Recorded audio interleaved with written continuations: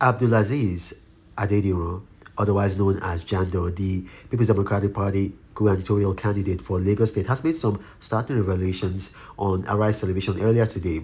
He revealed that Gbadebo Rhodes was brought to him by Bode George as a member of the PDP and we appealed to him to make him his running mate. And when he refused because he did not want to babysit a godfather, that Bode George asked Gbadebo Rhodes Vivour to leave the PDP and go to the Labour Party and ensure that he got his ticket. Now, this is not the first time that Mr. Jandor is making this uh, revelation. Earlier today, even earlier before he got on Arise Television, he was on Daddy Freeze's show and he also gave the same revelation with more detail. And one of those details is the fact that Gbadebo Rhodes Vivour is actually a candidate being controlled by Bode George. And Bode George is a godfather in the People's Democratic Party. And it's quite surprising because today, Gbadebo Rhodes Vivour is complaining or fighting and saying that he's going to come out against godfathers. And he hasn't denied this. And it's like, from what I understand through back channels, Mr. Adediran has a he has actually evidence to back this up. In any case, watch this video, put your comments in the comment section. I will break it down. When I got into PDP, when I created the ripples within APC and we moved en masse into PDP.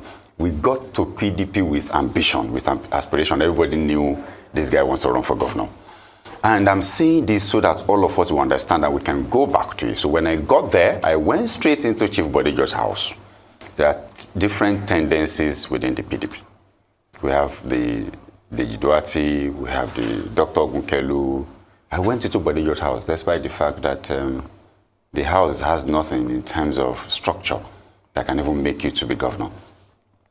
But I went there through Chief Olusegun Obasanjo to say, okay, I'm going into PDP. I know this has always been the problem.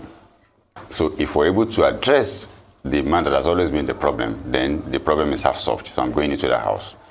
Because they work hand in hand with the principalities in APC. I know. So when I got in there, they were preparing to have state ESCO election, I mean state congress election.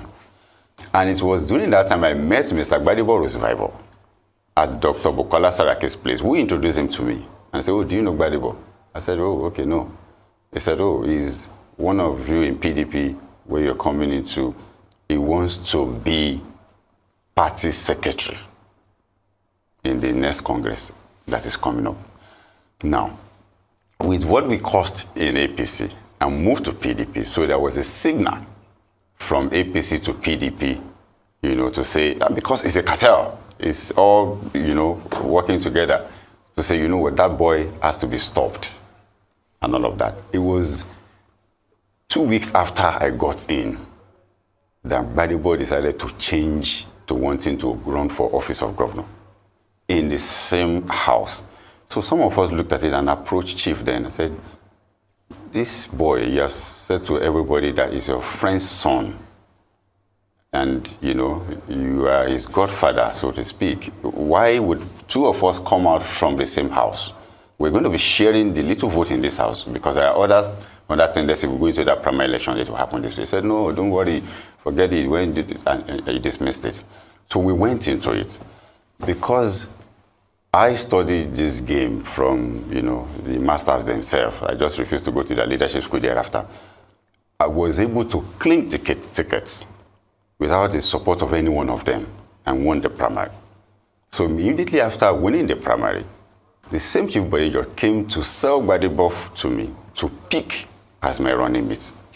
And I was like, I can't fight a godfather where I was coming from. And I'm here babysitting another godfather it shows we're not standing for anything. So I refused. That is why you've noticed, because you have, you have, you have interviewed him on this station many a times, you will see him eulogizing the other guy at the expense of candidate of his own party. It is what it is, because he asked him to move to Labour thereafter, when he went to Labour. And again, master, only one man against the whole world in large, fighting with the monsters, poverty I can't stand.